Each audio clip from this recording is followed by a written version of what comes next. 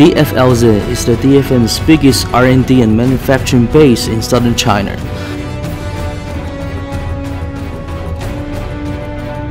Located in Liuzhou, beautiful industrial center in southern China.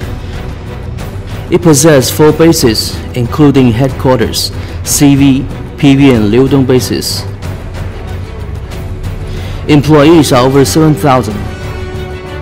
Operation area is over 1 million square meters, with annual capacity of 80,000 trucks and 250,000 passenger vehicles. DFLZ has commercial and passenger vehicles two platforms with four own brands.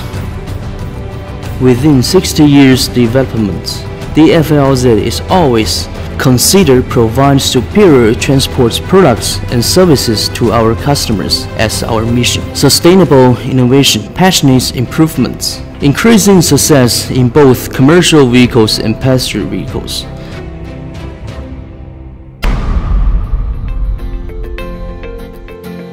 DFLZ is always promoting its R&D ability. Dangerous chemical trucks, mixer, crane truck and freight trucks has been introduced into the markets.